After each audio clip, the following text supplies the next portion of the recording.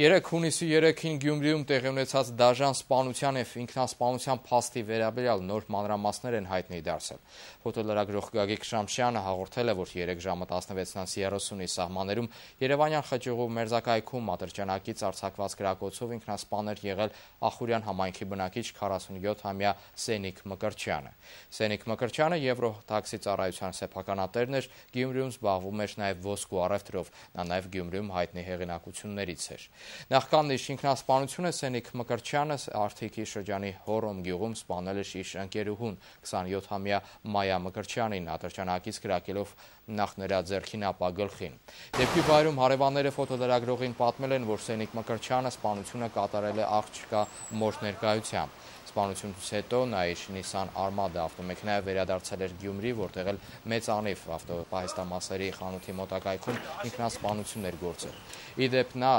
սպանությունը կատարել է Մակարավ տեսակի ատրճանակից, որը եղել է համարակալված հաշվեցուցակային, ինչը ոստիկանների մոտ զարմանքի հարուցել, թե ինչպես կարող էր հաշվեցուցակային ատրճանակը հայտնվել իրավապահ համակարգում երբեք չաշխատած անձի մոտ։